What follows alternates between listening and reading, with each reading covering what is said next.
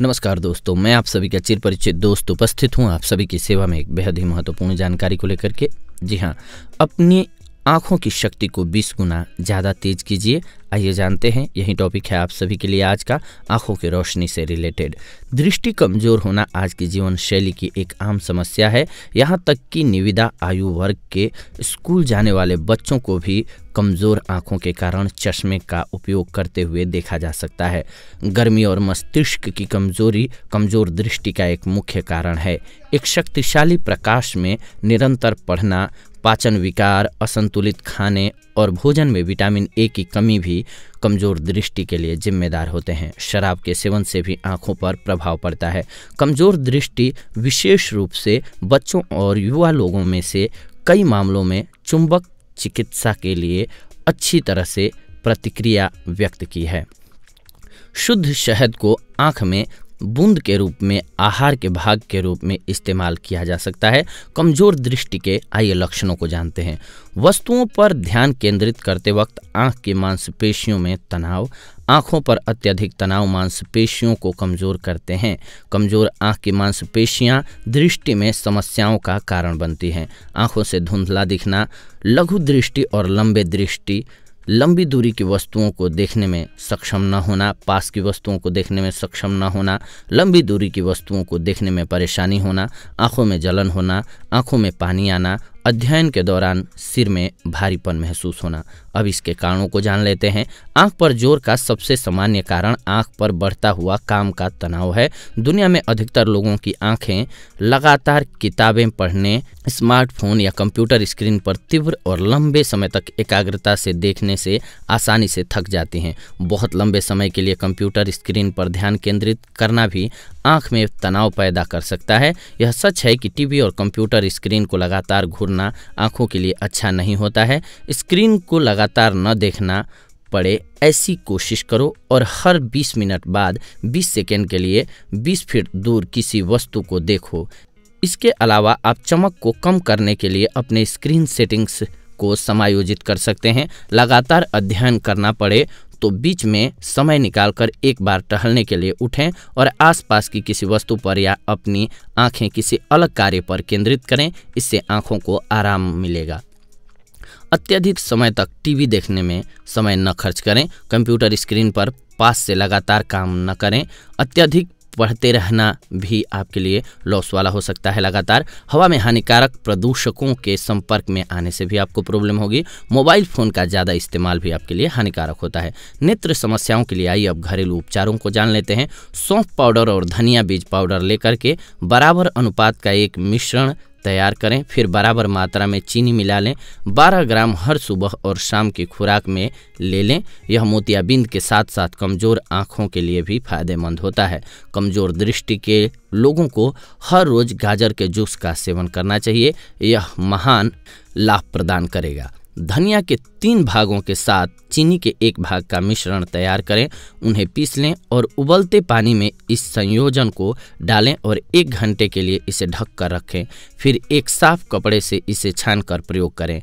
यह नेत्र श्लेष्मा लाशोथ के लिए एक अमूक इलाज है। जी हाँ दूध में बादाम को भिंगो करके उन्हें रात भर रख कर रहने दें। सुबह इसमें चंदन भी मिलाएँ। इसे पलकों पर लगाएँ, यह नुस्खा आँखों की लालिमा को बिल्कुल कम कर देता है। इलायची के दो छोटे टुकड़े ले लें, उन्हें पीसकर दूध में डालें और दूध को उबालकर रात में इसे पिएँ। यह आँखों को स्वस्थ बनाता है। आँखों की देखभाल के लिए आहार में विटामिन ए का सेवन ज़रूर करें। विटामिन ए, गाजर, संतरे और कद्दू, आम, पपीता और संतरे, नारंगी और पीले रंग की सब्जियों में निहित होता है।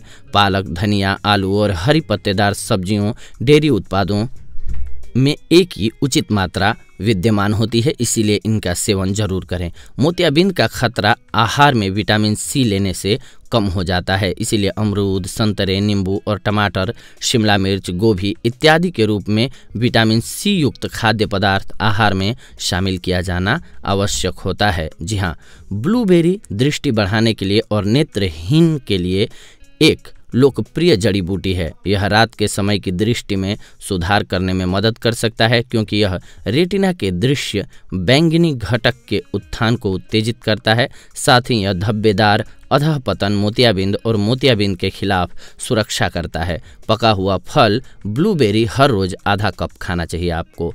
बादाम में omega three fatty acid, vitamin E e और एंटीऑक्सीडेंट सामग्री होने की वजह से दृष्टि में सुधार के लिए बहुत लाभदायक होता है। यह स्मृति और एकाग्रता बढ़ाने में भी मदद करता है।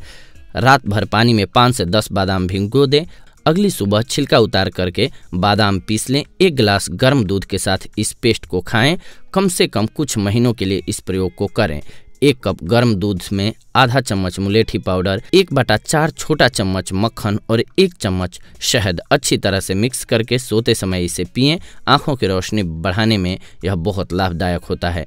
इसके अलावा आँखों के व्यायाम भी जान लीजिए आप। आँखों के व्यायाम अपनी आँख की मांसपेशियों को अधिक लचीला बनाने के लिए, आँखों के लिए ऊर्जा और रक्त प्रवाह में लाने और इष्टतम दृष्टि बनाए रखने के लिए बहुत आवश्यक है। जी हाँ हम आपको कुछ व्यायाम बता रहे हैं, जिनके सहारे आप आँखों की स्थिति को सुधार सकते हैं। एक हाथ की दूरी पर एक पेंसिल पकड़कर उस पर ध्यान केंद्रित करें। धीरे धीरे इसे अपनी नाक के करीब लाएँ और फिर इसे अपनी दृष्टि से आगे ले जाएँ। जी हाँ ले जाकर के आप नाक की सीध में ही दूर ले जाएँ और पास ले जाएँ। इस दौरान आप अपनी दृष्टि पेंसिल की नोक पर ही केंद्रित रखें। इसे एक दिन में दस बार दोहराएँ। कुछ सेकंड के लिए घड़ी की दिशा में अपनी आँखें गोल घुमाएँ और फिर कुछ सेकंड के लिए विपरीत दिशा में घुमाएँ और इसे चार या पाँच बार दोहराएँ। अपनी आँखों के 20 से 30 गुना तेज़ी से बार बार पलक झपकाएँ। अपनी आँखें फैलाएँ और पलक बार बार झपकाते रहें। अंत में अपनी आँखें बंद करें और उन्हें आराम दे दें। थोड़ी देर के लिए एक दूर की वस्तु पर अपनी दृष्टि ध्यान लगाएँ जी हाँ अपनी आँखों के दबाव के बिना यह करने के लिए सबसे अच्छा तरीका है कि आप चाँद को देखो और हर रोज तीन से पाँच मिनट के लिए उस पर ध्यान केंद्रित करो।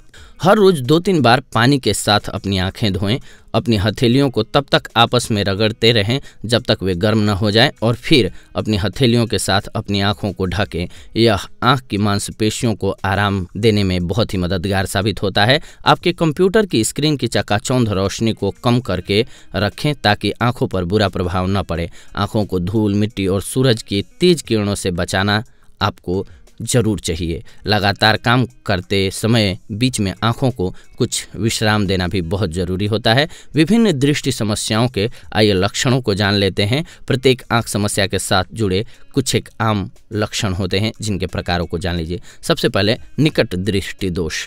इस दोष में निकट की वस्तुएँ तो साफ़ दिखाई देती हैं, पर दूर की वस्तुएँ धुंधली दिखाई देती हैं। दूर की वस्तुएँ देख पाने में व्यक्ति खुद को असमर्थ महसूस करने लगता है। दीर्घ दृष्टि दोष, यानी कि दूर दृष्टि दोष। इस दोष में दूर की वस्तुएँ तो साफ़ दिखाई देती हैं, किंतु पास की वस्तुएँ धुंधली नज़र आती हैं, निकट के काम करने में परेशानी होने लगती है, सब धुंधला सा दिखाई देने लग जाता है। दृष्टि वैषम्य। जी हाँ इस दोष में किसी भी दूरी की वस्तु साफ़ दिखाई नहीं देती है, धुंधलापन महसूस होने लगता है। रेटिना टुकड़ी, जब अचानक से चमकती रोशनी आँखों पर पड़ती है तो उसके बाद दृष्टि में काले धब्बों का संयोजन होने लगता है। कुछ देर तक आँखों के सामने काले धब्बे दिखाई देते रहते हैं। इसे रेटिना टुकड़ी दोष कहा जाता है। रंग अंधापन। रंग दृष्टि दोष में आमतौर पर रोगी रंगों में भेद करने में खुद को असमर्थ महसूस करने लगता है। रंगों के प्रति उनकी आँखें संवेदनशील हो जाती हैं।